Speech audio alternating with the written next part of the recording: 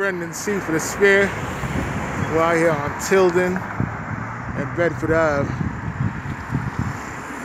Riding past the testing site, you know what I'm saying, for the COVID 19, but apparently it's closed. I guess they weren't getting as many visitors as they expected. Last time I came here, they had like, I don't know if they're state troopers or what. Like these, these were not regular cops when I passed by here last time.